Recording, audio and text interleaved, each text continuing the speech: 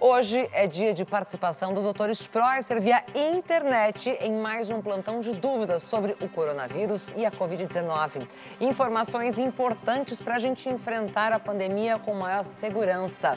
Bom dia, doutor Spreusser, tudo bem? Bom dia, Aninha. Tudo bem? E você, como vai? Estou muito bem, feliz de ter você aqui com a gente, mesmo que virtualmente, porque o nosso plantão de dúvidas começa a partir de agora. Aliás, você que está nos acompanhando, se tiver alguma dúvida, mande sua pergunta pelas redes sociais usando a nossa hashtag Hoje em Dia. Mas para começar, vamos à primeira dúvida enviada pelo telespectador.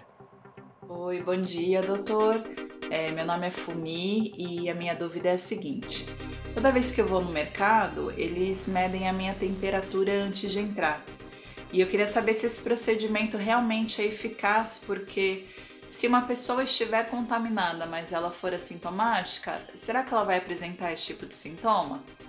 Muito obrigada. Boa pergunta da Fumi, isso também já aconteceu comigo. E aí, doutor? Então, Fumi, obrigado pela pergunta. O que acontece é que geralmente qualquer tipo de vírus, bactéria, fungo, ele pode dar sinais e sintomas que ele está no teu corpo. E o principal sinal e sintoma é a febre. Geralmente, quando você tem um quadro gripal ou agora essa ameaça do novo coronavírus, a nossa temperatura geralmente está 38, 38,5, 38,6 mas, diferentemente dos outros casos, você não tem nada. Você está ótima, você está andando. Tanto é que você pode até ao supermercado fazer compra e lá você pode ficar surpresa por mim de você estar tá com febre. Então, a febre, sim, é um sinal e sintoma importante. Os casos assintomáticos, às vezes, têm febre também, uhum. só que não dá sintoma. Mas por isso que é importante medir a temperatura. Perfeito, doutor. Nós temos mais dúvidas, mais telespectadores. Está todo mundo querendo informações a respeito desse novo coronavírus. Vamos a ela. Oi, doutor. Eu sou o Igor e falo aqui de Fortaleza. Ouvi dizer que os olhos são a porta de entrada para o coronavírus. No caso, quem usa lente de contato deve trocar pelo óculos para prevenir? Tá aí uma ótima pergunta. Aliás, um abraço a todo mundo do, de Fortaleza, do Ceará, de todo o Nordeste brasileiro que nos prestigiam sempre com muita audiência. Doutor, a gente usa máscara. Os olhos são os, o, principal, a, o principal ponto de entrada do coronavírus? Como é que é essa história? Bom dia, César Filho. Bom dia, Bom dia Igor. Obrigado pela pergunta aí do Ceará. O problema é que os olhos, o nariz e a boca, eles fazem parte como se fosse a primeira entrada do vírus no corpo. Então, as pessoas que usam lente de contato se preocupam muito em termos de tirar a lente e colocar o óculos agora. Mas acontece que os últimos trabalhos em oftalmologia mostram que quem usa lente, mas de uma maneira correta, ou seja, tira à noite para dormir, coloca naquela solução salina para não deixar a lente desidratar, não precisa usar óculos. Os óculos, sim, eles realmente protegem a pessoa. Mas se você usa lente, mas usa de forma adequada, não tem problema, pode continuar usando a lente, viu? Muito bom, doutor. Fiquei bem tranquila com isso. Agora, a questão de usar tudo de forma adequada vale para tudo, para lente de contato, o uso de máscaras, verdade. não é verdade? Bom, são verdade. muitas dúvidas aqui que a gente tem para o senhor. Vamos à próxima. Bom dia, doutor. Meu nome é Beth. Como toda mãe, eu adoro uma receita caseira. O senhor poderia me dar alguma dica de como fazer para baixar a febre mesmo depois de tomar um antitérmico? Obrigada. Beth, olha, eu vou me colocar junto com você como mamãe. E aí, doutor, tem alguma coisa que nós, mamães, podemos fazer que seja adequada e não vai fazer mal para os nossos pequenos? Então, realmente essa, essa pergunta é muito frequente, porque às vezes a pessoa não quer nem dar remédio, né? Então, olha só o que, que a gente pode fazer. Em primeiro lugar, você pode tomar um banho. E esse banho com água morna ou água fria, mas não vai tomar banho com água quente. As pessoas às vezes têm dúvida, põe água quente vai piorar a febre.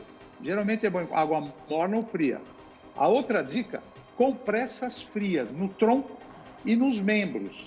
E essa compressa fria, ela pode ser com toalha úmida ou bolsa térmica. Então, são formas de você abaixar também mais rápido a temperatura. Outra dica não é só abaixar a temperatura, é como você vai se alimentar. Procura se alimentar bem com alimentos saudáveis, leves, sal... por exemplo, salada, legumes, verdura. E você não vai querer fazer atividade física, não vai querer treinar para maratona e para um triatlo agora. Então, cuidado com a atividade física. Fique em repouso. É importante o repouso agora. E um aliado ao repouso, o que quer? Hidratação. Tome bastante líquido.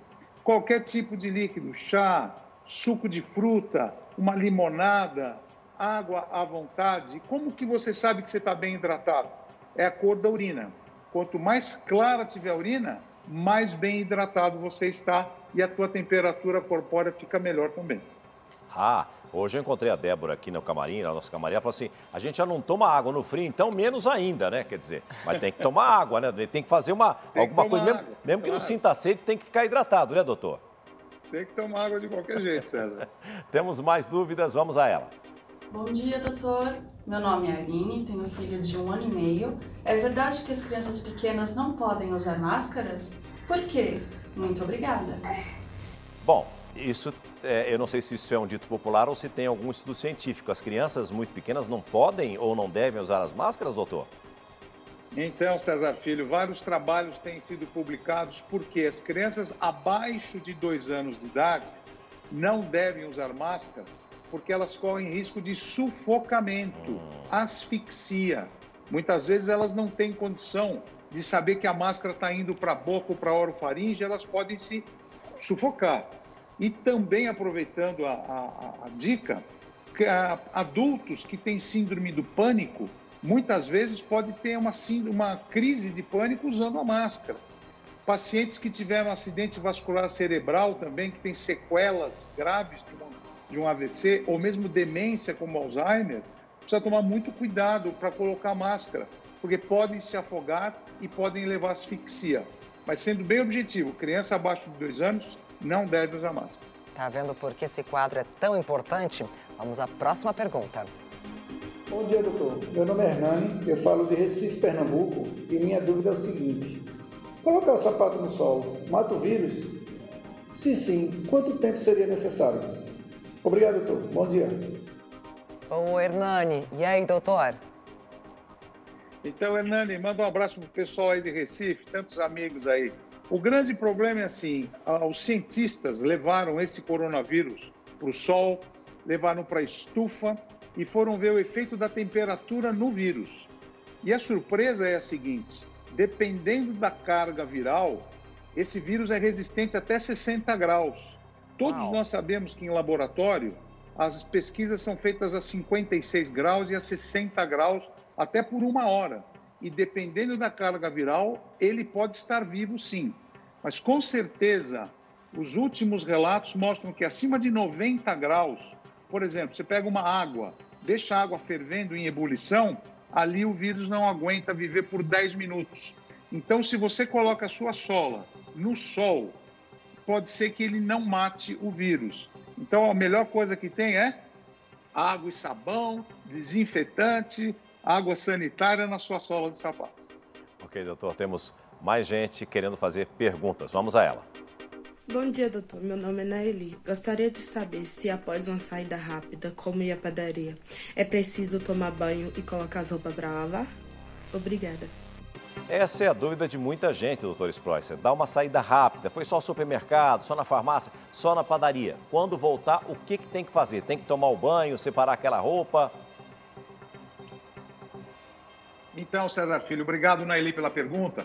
Quando você faz uma saída rápida, vou dar um exemplo: você vai à padaria, rapidinho, do lado da sua casa, voltou, deixa o sapato do lado de fora, tira essa sua roupa, deixa no sol um pouquinho, não precisa lavar essa roupa. Agora, você sai de casa, vai ao supermercado, fica mais tempo no supermercado, tem muita gente no supermercado, ou você teve que pegar um transporte público, pegou ônibus, pegou metrô, foi trabalhar, não tem dúvida, tem que lavar a roupa com água e sabão.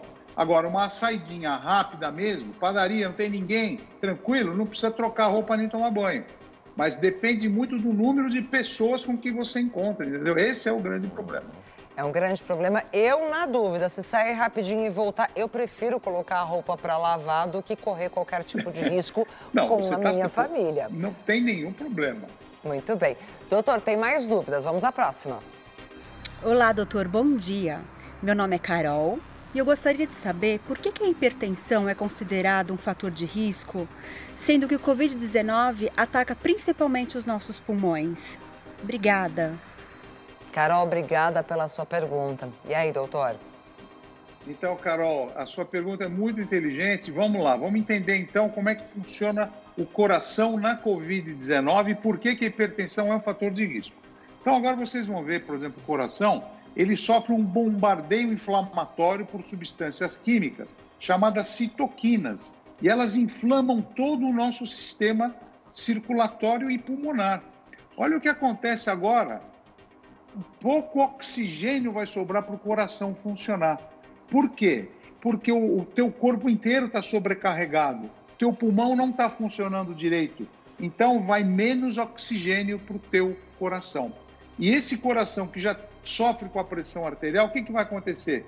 O vírus vai entrar no corpo humano, o vírus pode ir até o músculo do coração, inflama o músculo do coração, é o que a gente chama de miocardite, e complica mais ainda a vida do coração que já sofre com a pressão arterial.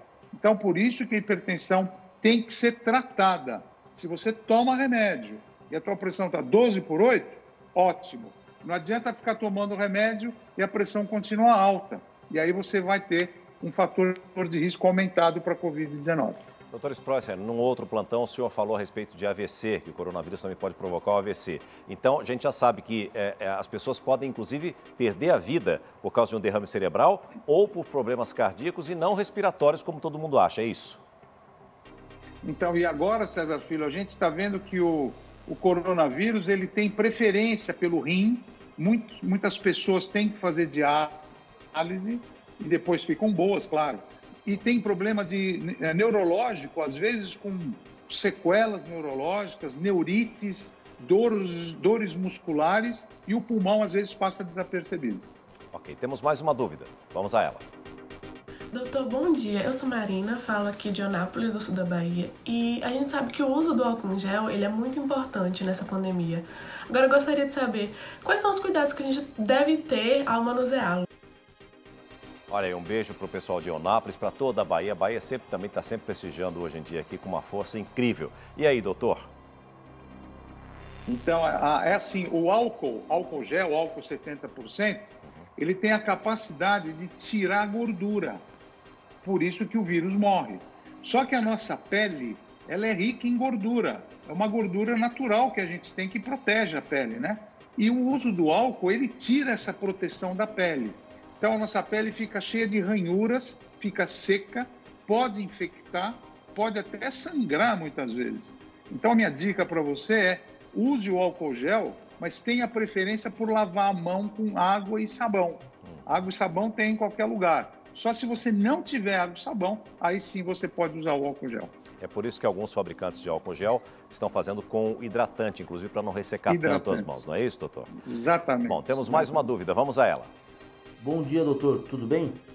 Doutor, eu sou o JB. Eu estou voltando ao trabalho presencial agora.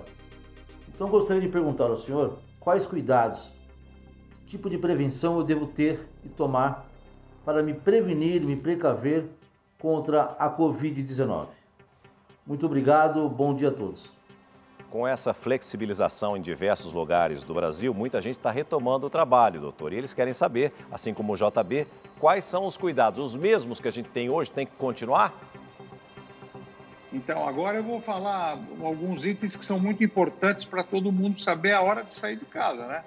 Primeira coisa, usa máscara no transporte público. Você vai entrar no metrô, no ônibus, usa máscara, não vai ficar sem máscara, porque vai, vai passar e vai receber.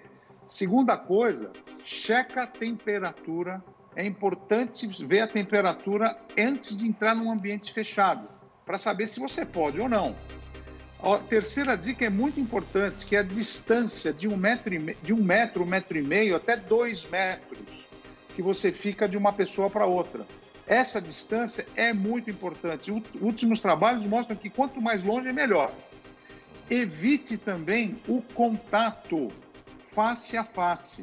Quando você está no teu escritório, mantém distância, porque às vezes você vai ter a dúvida, fica perto, sem máscara, vai se contaminar, entendeu?